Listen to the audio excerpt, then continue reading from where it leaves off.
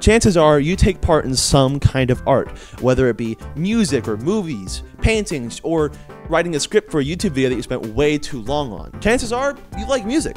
Everyone does. Some people have different tastes, but at the end of the day, we all enjoy some form of music. Now, if there is good art, then there has to be bad art, you know, yin and yang type stuff. But that begs the question what is bad art? Alright, when I started this video, I thought bad art was art that failed to deliver a message. If you have a beautiful story behind a song, but no one can interpret it, then that's bad art. That's what I thought. But after doing a lot of research, I discovered that art is so much more complicated to explain than I thought. The truth is, I don't know what I would say bad art is. Okay, how about this? Let's look at some examples of bad art, and then I'll come back to this later. Let's start with critics' favorite public urinal, Jackson Pollock. Jackson Pollock was a painter and writer known for his abstract and outlandish style.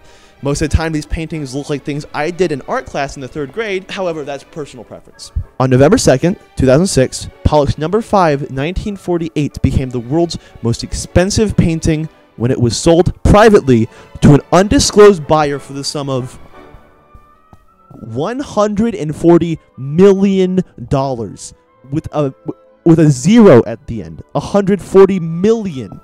That is a ridiculous amount. That's like supervillain levels of money for one painting. Now, if good art's supposed to have a meaning, then this painting has as much meaning as paying for WinRAR. Okay, though, let's be fair. Let's say that someone at some point saw meaning in this painting, even if Pollock didn't put some meaning into it to begin with. That would mean it's good art to that person. But that can't be, right? We are both looking at this, and chances are most of you don't like as much as I do. So, how could it be good if most people dislike it? I would say good art is something that I, as the consumer, can derive some kind of meaning from. If I can get meaning out of it, it is good art. Now, that being said, art is the most subjective thing of all time. So take that with a grain of salt. Let's take a look at some examples of good art.